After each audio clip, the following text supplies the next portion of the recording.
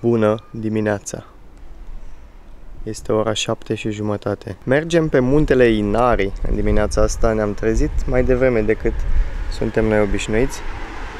Pentru că vrem să fie cât mai puțină lume la acele porți tori și vrem să le vizităm în toată splendoarea lor. Sperăm noi să nu fie un milion de oameni. Vedem acum. Bun, de ceea ce ți-e frică nu scap de obicei. Aproape ora 8 dimineața plin de turiști aici. Toată lumea gândește la fel de cel mai multe ori. Ne gândim că dacă ne trezim mai dimineață, nu va fi lume. Ei bine, și ei se gândesc la fel.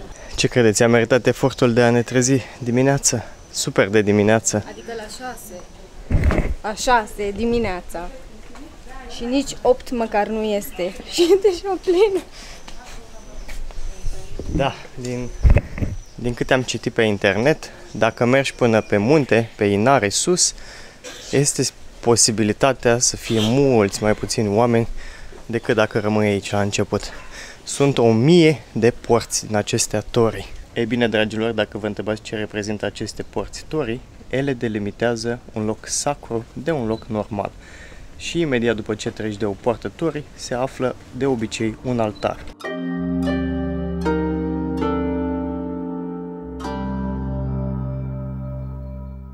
Dragilor, aceste altare de care vă spuneam se mai numesc și altare Shinto. De ce Shinto? Pentru că vin din religia veche a Japoniei, Shintoism.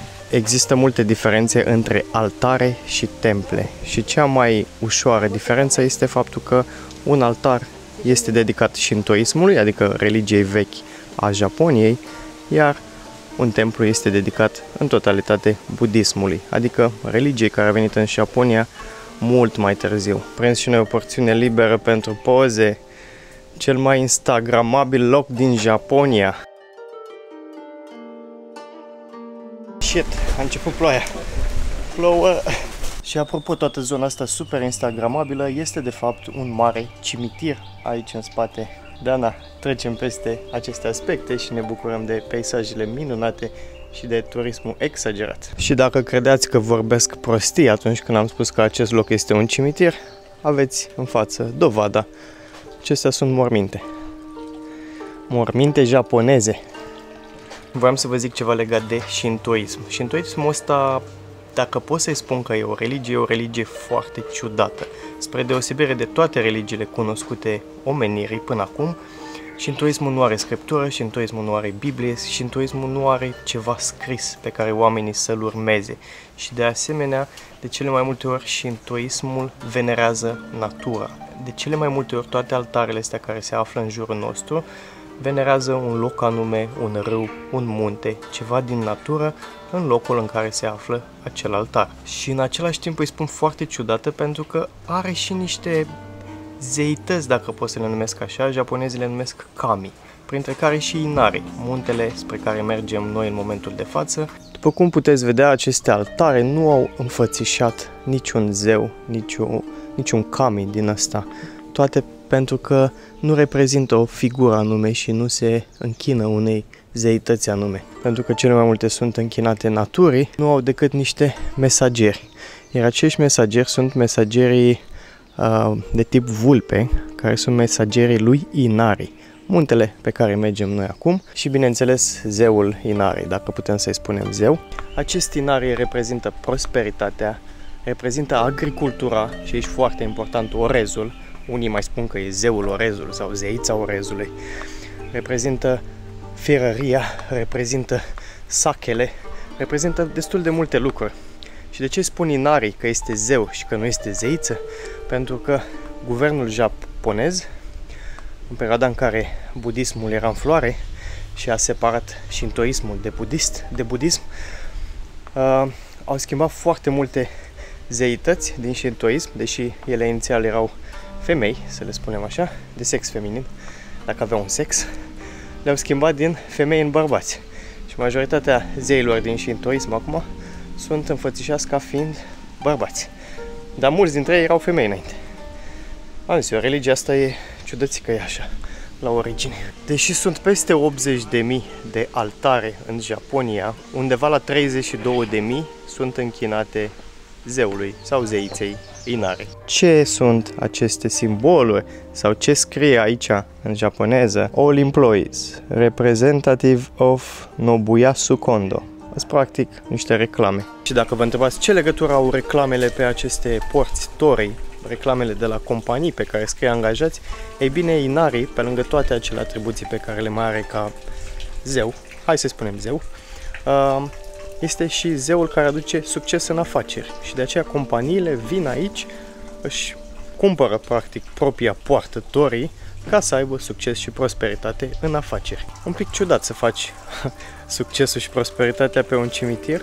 Hmm, voi ce credeți? Facem o pauză de la istorie pentru că v-am plictisit foarte tare și o să luăm așa un set cu ceai, biscuite din orez, jeleu și un, o prăjitură din asta cu macea. Ia uitați cum arată locul ăsta. O să stăm aici la masă.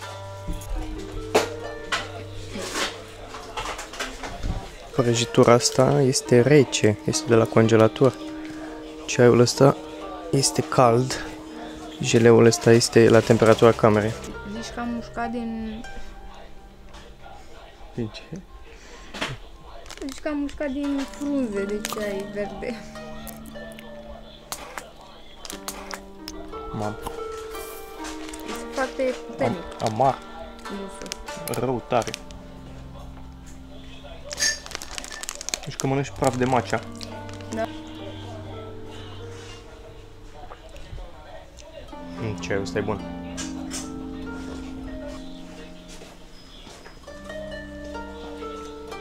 Și mai simt, am, mi s-au sterpesc dinții de asta. Geleul ăsta e un pic mai dulce, dar se seamănă cu prăjitura aia. Mult macea. Gust amar de macea. Cred că am ajuns în vârf.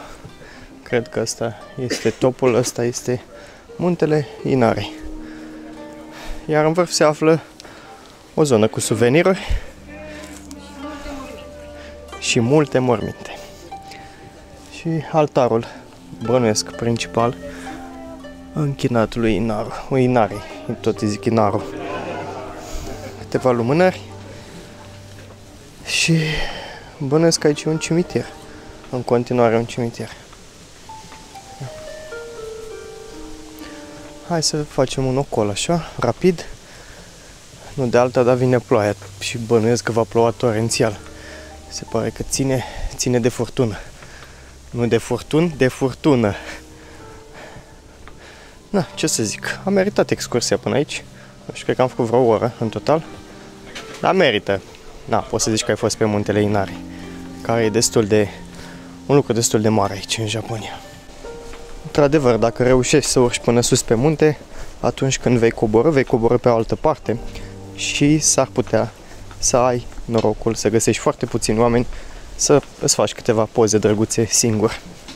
Dacă sunteți în căutare de ștampile, se pare că aici nu găsiți ștampilă, însă găsiți o foiță din aceasta, deja ștampilată, scrisă în japoneză și costă 500 de ieni. O atașezi aici, practic, sau o lipești. Nu știu dacă e adevărat următoarea afirmație, dar aș putea spune că suntem în cel mai turistic cimitir din lume. Nu știu, anual milioane, milioane de vizitatori într-un cimitir instagramabil. Un concept de a hrăni pisicuțele pe banii altora, le-au făcut poze, bagi aici 100 de ieni și îți iei poză cu pisici. Și zice că banii se duc către a le hrăni. Asta este poza pe care o luăm noi, amintire de aici. 100 de ieni. Gata, mergem spre casă. Cam așa arată situația la ora 11. Ne-a luat 3 ore dus întors, cu tot cu opriri, filmări, poze, 3 ore. Dar la ora 11 este ireal, prea mulți oameni. Și sfat, veniți dimineața sau seara. Am vrut să vedem cum arată aceste porți torii și pe timp de noapte, iar acesta este rezultatul.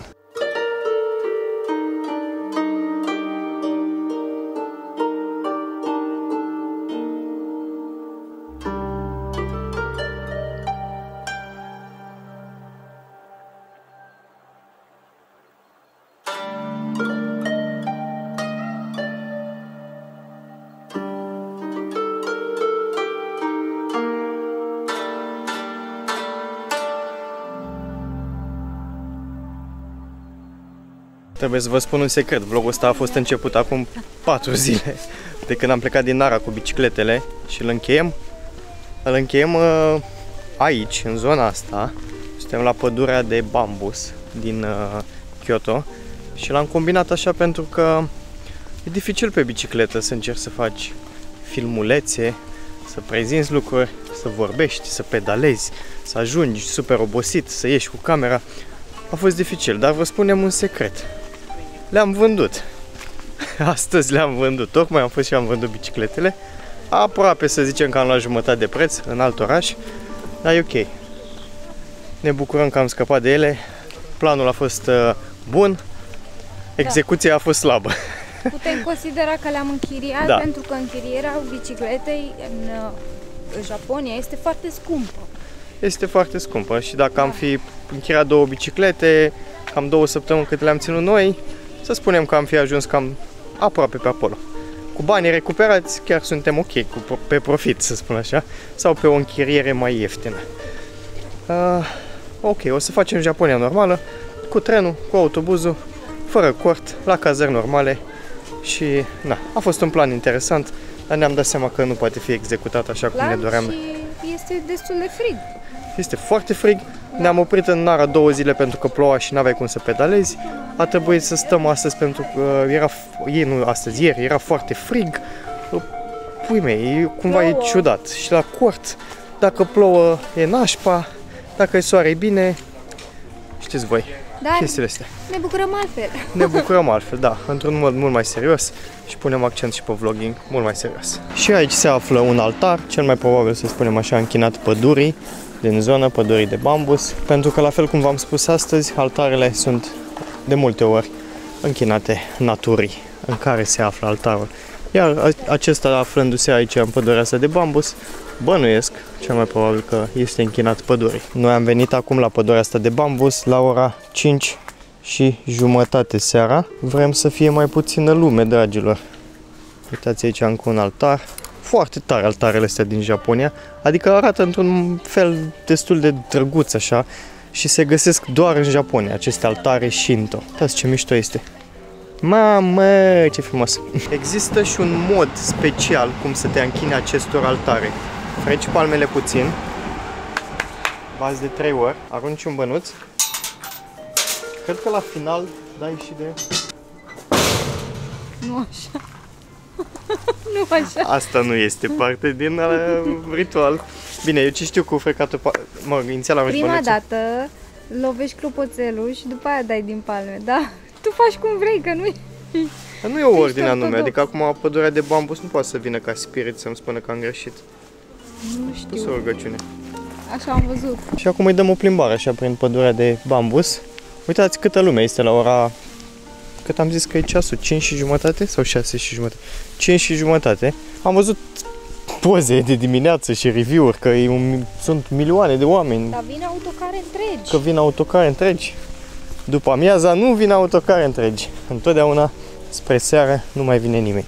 Ori foarte de dimineață, dar asta cu foarte de dimineață nu prea mai merge, că toată lumea gândește la fel. Mamă, ce frumos e pe aici.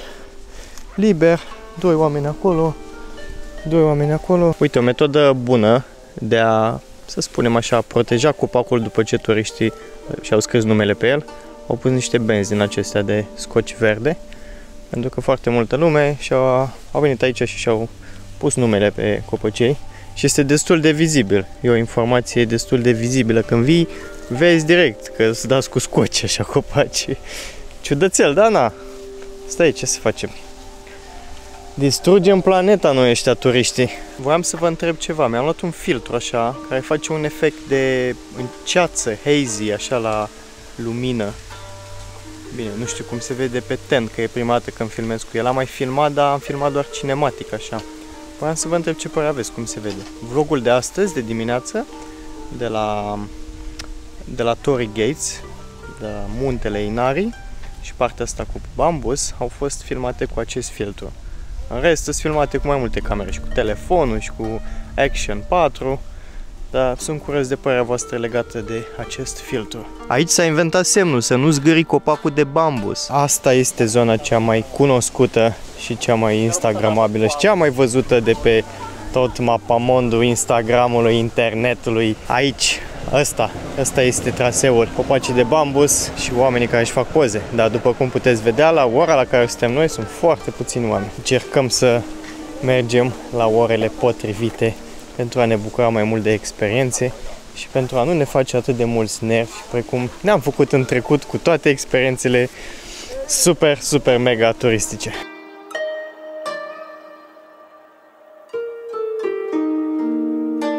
Gândiți-vă că la ora asta, uitați-vă un pic în spate așa, sunt câțiva oameni, puțini, poți să prinzi un colț, poți să prinzi chiar și o alee, să-ți faci poze singur, 100%.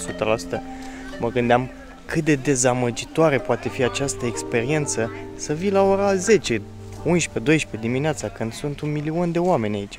Să nu poți să-ți faci o poză. Mă rog, nu știu dacă e vorba despre poze neapărat, dar așa, să pe internet ai văzut-o liberă pădure, ai văzut o singură persoană în ea sau 100% liberă.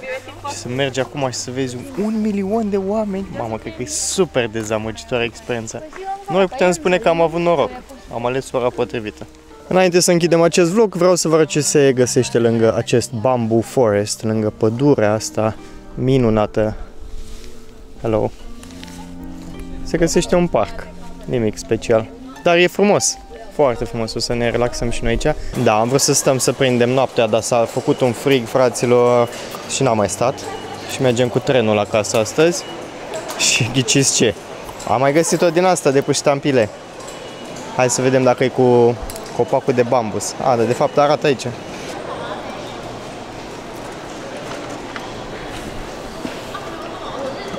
E un pod, da.